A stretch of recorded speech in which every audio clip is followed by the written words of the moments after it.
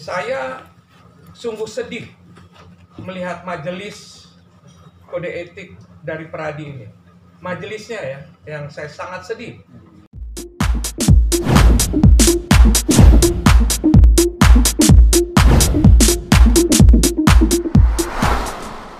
Aja juga ya. saya mau supaya clear aja ini.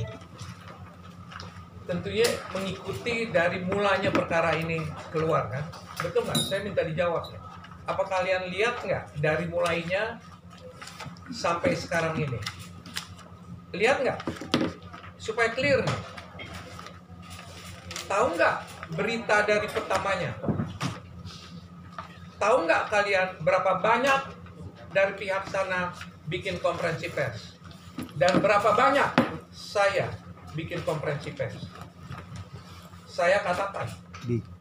ini yang kedua.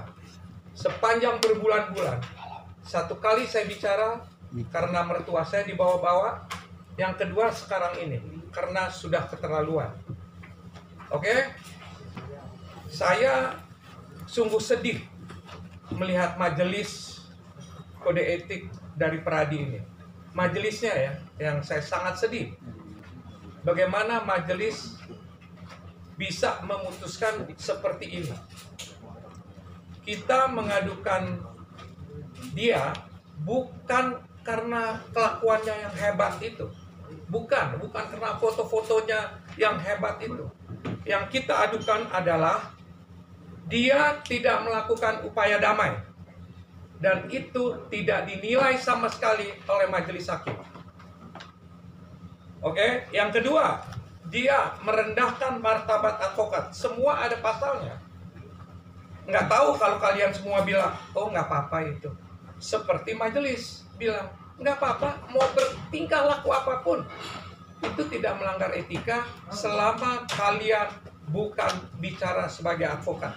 Itu kata majelis. Saya tidak bicara sebagai advokat, saya bicara sebagai masyarakat. Itu mesti jelas nih ya. Kita bilang HPH tidak satria.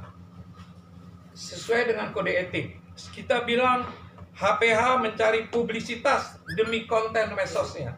Semua dengan bukti. Tidak diacuhkan, tidak didengar oleh majelis. Ada apa dengan HPH ini? Bisa mengundang wartawan sebelum putusan. Ada apa ini? Kita lempar aja sama masyarakat. Kok bisa berani menantang yang paling absurd saya bilang tahu. Ngerti absurd itu? Absurd itu ya udah nggak ada lagi yang lebih jelek. Bagaimana di dalam sidang kode etik HPH tidak mengajukan ahli tentang kode etik. Siapa yang diajukan? Istri saya, prinsipalnya, dengan anak tiri saya. Dan diizinkan. Dan dibiarkan oleh ketua majelis dan majelis. Berulang kali kami bilang, jangan. Ini perkara kode etik. Tahu apa dua orang itu tentang etika. Dibiarkan sama ketua. Keluarlah semua hal-hal yang tidak perlu di dalam persidangan itu. Ada apa dengan ketua ini?